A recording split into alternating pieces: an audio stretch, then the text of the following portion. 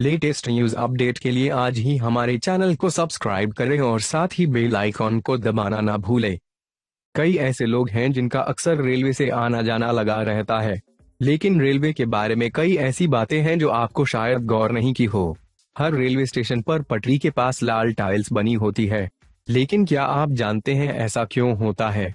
इसे देखकर हमारे दिमाग में यही आता है कि ये लाल की टाइल्स ऐसी ही डिज़ाइन के लिए लगा दी गई होंगी।